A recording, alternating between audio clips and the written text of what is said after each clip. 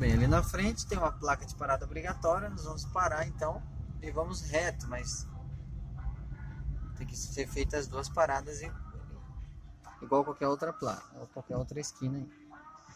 Já colocou a primeira, vai fazer a segunda parada que é o bico alinhado com o meio fio, para de novo, olha se não vem ninguém dos dois lados, ter certeza que não vem carro. Põe segunda, né? desenvolveu aí uns 15, 20 por hora, põe segunda e já pode pôr terceira, passou de 20, põe terceira. Vamos à esquerda, dá seta, diminui de 20, põe segunda e vira. Agora já tinha passado do, do horário de, de, virar, por isso que eu segurei o volante, senão você ia subir na calçada. Tá em terceira, né, numa velocidade boa aí, 30 por hora, nós vamos à direita lá na frente, ó, placa de parada obrigatória. Na verdade, num caso como uma esquina dessa, o instrutor, o examinador no Detran no dia do exame, não vai nem falar nada, né? Porque tem a placa dizendo para onde pode ir, só pode ir para a direita e a placa mandando parar aqui. Fez a primeira parada, colocou a primeira, agora vai fazer a segunda parada que é ajustar o carro mais à direita. Ter certeza que não vem nenhum carro dos dois lados. E vai virando.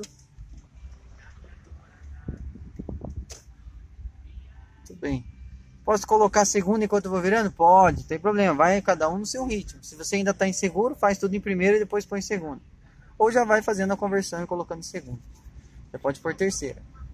Ó, passou de 20 aí, põe terceira.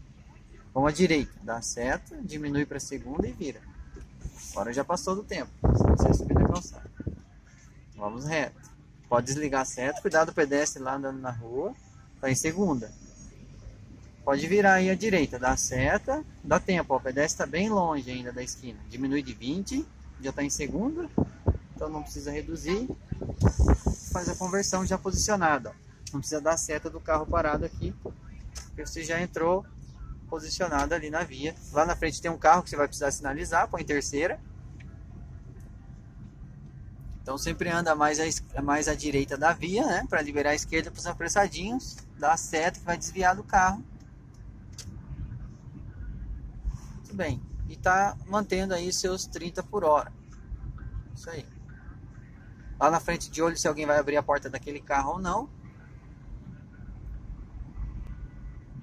dá seta, vai fazer o desvio, faz o desvio do carro, desliga a seta. Vamos à direita, já dá para, já sinaliza e vem controlando no freio. Daí depois pisa na embreagem e para. Não pode pisar na embreagem desde lá de trás, senão é andar com o carro desengrenado, tá? Agora colocou primeira, muito bem. Agora vai fazer a segunda parada, que é o bico do carro no ponto de visão. Vai olhar se não vem nenhum outro veículo e vai entrar na via. Ó, fez tudo em primeirinha para depois por segunda, cada um no seu ritmo. Tem gente que já pode ir virando e pondo segunda. Se já sente intimidade, já está com mais segurança em fazer esse tipo de, de manobra aí. Passou de 20, 15, 20 e pôs terceira e está andando a 30 por hora desenvolvendo o veículo. Essas são as regrinhas para o nosso exame aqui no Detran Paraná. Vamos à direita. Então já dá a seta, faz a primeira parada, olha pedestre, põe primeira, né? Que sempre vai parar terceira, pôs primeira. Olha para os dois lados, não vem ninguém. Opa, morreu. Então, liga o carro, pode dar partida. Segura, segura no freio para o carro não ir para trás, que está inclinado. Desengata o carro. Deixa no ponto morto. Pisa na embreagem, no freio. Aí, agora o carro ligou. Pôs primeira, coxa de frente, né? Vai com calma, acha o ponto e vai posicionando o carro mais à direita e para de novo por causa dos carros.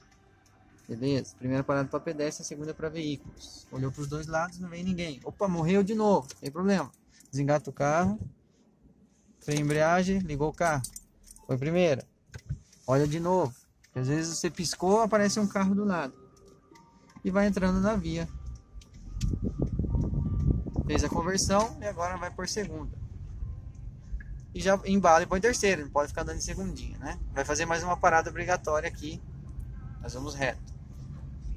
Essa aí foi mais algumas dicas, mais uma aula com o instrutor Navarro, tá certo, pessoal?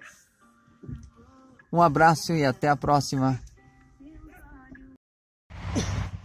Tudo bom, moçada? Estou aqui com o Ivan, ele que é do Lobby Cicloturismo e tem uma mensagem bem importante aí para vocês. Vá de bike e não fique engarrafado. Isso aí. Entra lá, lobby.com.br. Venha pedalar conosco.